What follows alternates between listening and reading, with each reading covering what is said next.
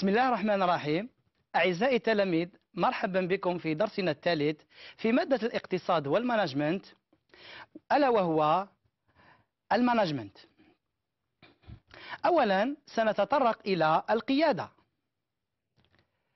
القيادة هي قدرة أحد الأفراد وهو القائد على توجيه الآخرين والتأثير على أفكارهم ومشاعرهم وسلوكهم. وبالتالي على أدائهم من أجل تحقيق أهداف المنظمة. إذا القيادة هي قدرة على التأثير على المرؤوسين وتوجيه جهودهم لتحقيق أهداف المنظمة. وهناك ثلاثة شروط أو عناصر أساسية يجب أن تتوفر في القيادة وهي وجود قائد يتصف بقدرات ومهارات عالية ثاني عنصر وجود هدف يسعى القائد لتحقيقه. ثالث عنصر وجود أفراد مطالبين بتحقيق هذا الهدف من خلال تأثير القائد عليهم. أساليب القيادة. يقصد بأسلوب القيادة هو سلوك القائد مع مرؤوسيه من أجل تحقيق الأهداف المرجوة. يمكن تصنيف الأساليب القيادية المتبعة بين قطبين هما القطب الأول القيادة اللامبالية. القطب الثاني القيادة الاستبدادية. ويقع بينهما أسلوب القيادة الديمقراطية القيادة الاستبدادية أو الفردية. يقصد بها احتكار القائد للسلطة واتخاذ القرارات دون استشارة مرؤوسيه وينتظر منهم تنفيذ أوامره فهو يركز على العمل فقط. القيادة اللامبالية. يركز فيها القائد على مصالحه الشخصية المباشرة ويوليها كل اهتماماته ويتخلى عن, عن مسؤولياته ليحمل الآخرين النتائج التي يتم الوصول إليها. القيادة الديمقراطية. يهتم القائد فيها بالعمل والعاملين ويشرك مرؤوسيه في اتخاذ قراراته وذلك عن طريق الاستماع إلى آرائهم واقتراحاتهم وتشجيع الاتصال وتبادل المعلومات. وهناك مصطلح القيادة البيروقراطية والتكنوقراطية. المصطلح الأول القيادة البيروقراطية. يحتكر فيها الإداريون أو الموظفون السلطة ويغلب على هذا الأسلوب من القيادة الرغبة في اللجوء إلى الطرق الإدارية الرسمية من أجل تنفيذ التعليمات. كما يتميز هذا الأسلوب من القيادة بالبطء في اتخاذ القرارات. القيادة التكنوقراطية وهي التي تسند فيها مهمة القيادة إلى الخبراء للاستفادة من خبراتهم لأنه يفترض أن يملك التكنوقراطي المعرفة أكثر من غيره والتي تعتبر مفتاح الحلول في كثير من الأمور. الآن في مرحلة ثانية سنتطرق إلى الدافعية. الدافعية هي المؤثر الداخلي الذي يحرك وينشط ثم يوجه السلوك الإنساني نحو تحقيق أهداف معينة. كما تعتبر الدافعية وظيفة يؤديها المسير لحث وتحفيز المرؤوسين على إنجاز الأهداف. والتحفيز هو أن تجعل شخصا متحفزا أي متحمسا لأداء شيء ما إذا ما هي الدافعية؟ الدافعية هي عملية تنشيط العاملين لبذل جهود أكبر لإنجاز الأهداف المطلوبة وتشجيع الأفراد وتحفيزهم ودفعهم للعمل أكثر من أجل تحقيق أهداف المنظمة بأقصى درجة من الكفاءة ما هي العوامل المؤثرة في الدافعية؟ أول عامل أو العوامل التنظيمية أو أسلوب القيادة المتبع في المنظمة. ثاني عامل العوامل الاجتماعية. ثالث عنصر العوامل النفسية. أي مدى قدرة القائد على استقطاب إمكانيات الأفراد للعمل بحماس وحتى يحصل ذلك فإن الأوامر والتوجيهات التي تصدر من طرف القائد للمرؤوسين يجب أن تتصف بالدقة والوضوح وأن تكون ضمن منطقة قبول المرؤوسين حتى ينفذونها دون أي اعتراض أو مقاطعة. إن المرؤوس باعتباره فردا في, المجتمع فهو يتأثر بمحيط بمحيطه الاجتماعي سواء في السكن أو في المدرسة أو في العمل أو بأي رابطة أخرى. تولد له الإحساس بالانتماء لهذا المجتمع.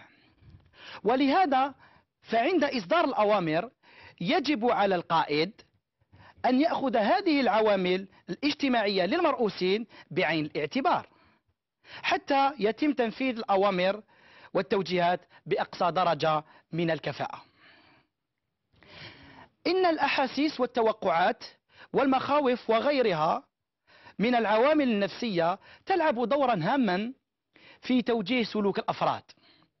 لذا على القائد أن يدرس ردود فعل مرؤوسيه المتوقعة تجاه كل ما يصدره إليهم من أوامر وتعليمات وعند إصداره الأوامر والتعليمات عليه أن يركز على العوامل المشجعة للمرؤوسين على قبولها.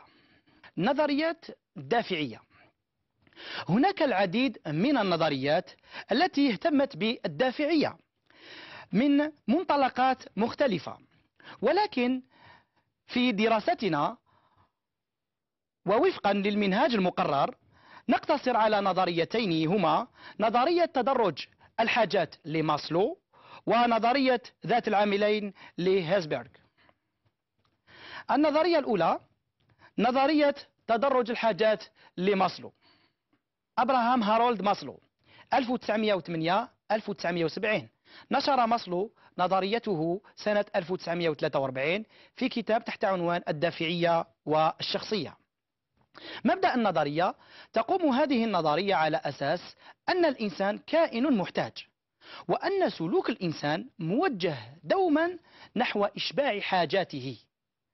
وصنف ماسلو حاجات الإنسان إلى خمسة أصناف وقام بوضعها على شكل هرمي. هرم ماسلو لتدرج الحاجات. إن ترتيب ماسلو للحاجات بناء على أن إشباع الحاجة الإنسانية يخضع لأولويات. تعبر عن مدى أساسية الحاجة. فالحاجة الفيزيولوجية تحتل المرتبة الأولى تليها حاجات الأمان ثم تأتي الحاجات الاجتماعية وحاجات التقدير وأخيرا حاجات تحقيق الذات. بمجرد إشباع الفرد لمجموعة معينة من الحاجات تبرز أهمية المجموعة التالية في ترتيب الأولوية. كما أن الحاجة المشبعة تفقد تأثيرها كدافع لسلوك الفرد. إن سعادة الفرد تتحدد بمستوى الحاجات التي تمكن من إشباعها. أي أن السعادة القصوى تتحقق بإشباع حاجات تحقيق الذات وأدنى درجات السعادة تكون عندما لا يستطيع الفرد تجاوز حد إشباع الحاجات الفيزيولوجية. الحاجات الطبيعية أو الفيزيولوجية وهي الحاجات الجسمانية الأساسية للمحافظة على الحياة مثل الجوع والعطش والجنس والسكن.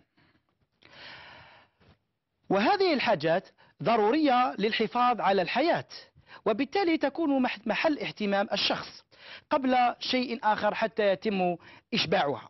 فالشخص الجائع أو العطشان لا يفكر عادة في أمور الحياة التي قد يراها حين ذاك نوعا من الترف. حاجات الأمن والضمان. تشمل هذه الحاجات خوف الإنسان من التعرض للمخاطر.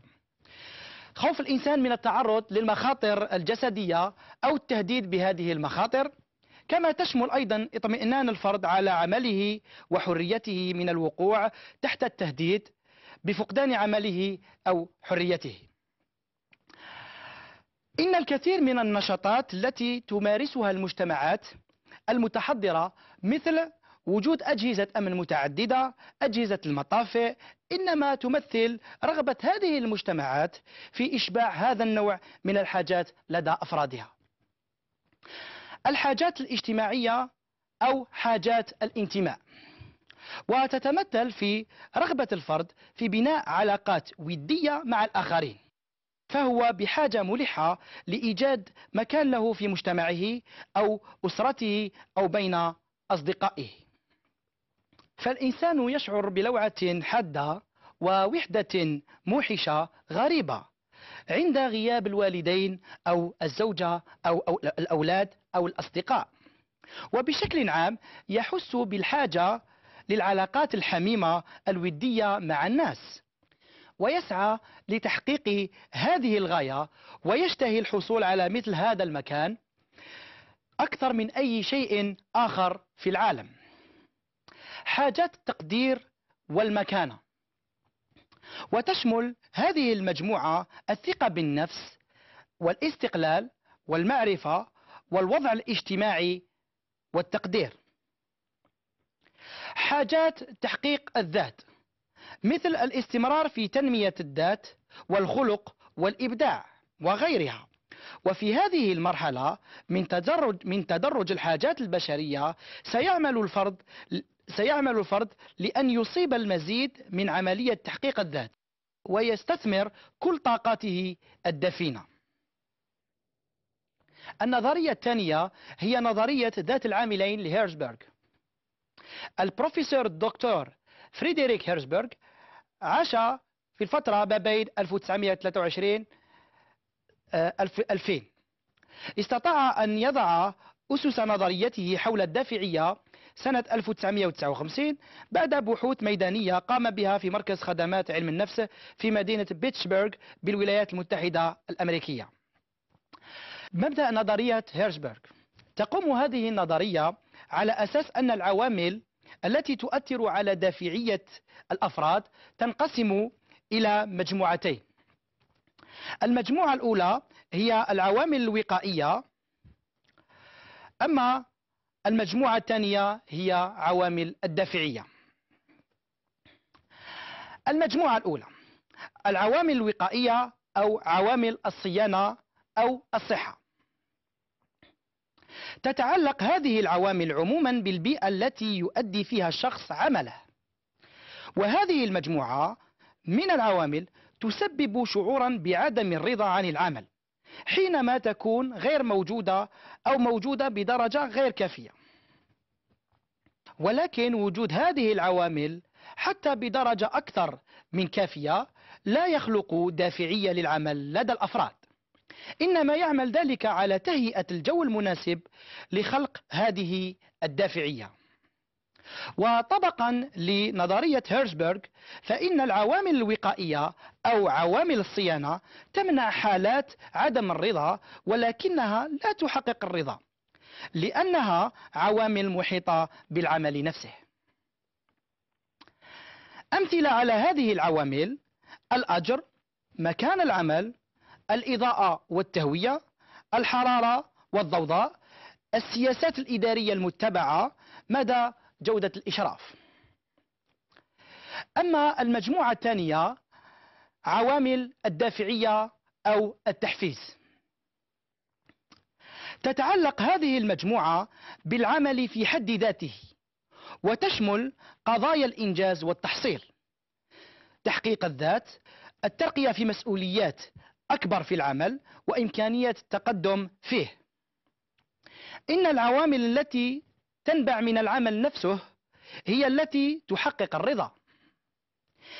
إذا توفرت هذه العوامل بالكيفية الملائمة تؤدي إلى تشجيع المرؤوسين وتحفيزهم ودفعهم للعمل أكثر. الآن أعزائي التلاميذ نقترح عليكم نماذج لأسئلة البكالوريا وهي كما يلي. سؤال مستمد من بكالوريا سنة 2009 كان عليه أربع نقاط الجزء الثاني. حدد مفهوم القيادة. السؤال الثاني اشرح مختلف أساليب القيادة. وللإجابة على السؤال نقوم بتحديد أولا مفهوم القيادة. والقيادة هي القدرة على التأثير على المرؤوسين بغية تحقيق أهداف المنظمة. الجواب عن السؤال الثاني شرح أساليب القيادة. القيادة الاستبدادية أو الفردية. يحتكر فيها القائد السلطة واتخاذ القرارات دون استشارة مرؤوسيه وينتظر منهم تنفيذ أوامره. القيادة اللامبالية. يركز فيها القائد على مصالحه الذاتية المباشرة ويوليها كل اهتماماته. ويتخلى عن مسؤولياته ليحمل الآخرين النتائج التي يتم الوصول إليها. القيادة الديمقراطية يهتم القائد فيها بالعمل والعاملين ويشرك مرؤوسيه في اتخاذ قراراته وذلك عن طريق الاستماع إلى آرائهم واقتراحاتهم وتشجيع الاتصال وتبادل المعلومات. القيادة البيروقراطية هي التي يحتكر فيها الإداريون السلطة. القيادة التكنوقراطية وهي التي تسند فيها مهمة القيادة إلى الخبراء. سؤال مستمد من بكالوريا 2011 تعد نظرية تدرج الحاجات لماسلو إحدى النظريات المتعلقة بالحاجات الدافعية أي التحفيز. السؤال الأول حدد مفهوم الدافعية. سؤال ثاني بين مضمون نظرية تدرج الحاجات لماسلو الجواب يكون كما يلي مفهوم الدافعية هي تشجيع الأفراد وتحفيزهم واستنهاض هممهم لدفعهم للعمل أكثر وكسب إصرارهم من أجل تحقيق أهداف المنظمة أي المؤسسة بأقصى درجة من الكفاءة. الجواب عن السؤال الثاني يكون كما يلي. تبيين نظرية تدرج الحاجات لماسلو. لقد صنف ماسلو حاجات الإنسان على شكل هرمي من الأسفل إلى الأعلى كما يظهر في الشكل التالي. ويرى ماسلو أنه كلما تم إشباع صنف من الحاجات يفقد مفعوله. كحافز للسلوك ليبرز الصنف من الحاجات الذي يعلوه مباشرة. في الأخير أعزائي التلاميذ أتمنى أن هذه الدروس قد أفادتكم وأتمنى لكم النجاح والتوفيق إن شاء الله في شهادة البكالوريا. والسلام عليكم ورحمة الله تعالى وبركاته.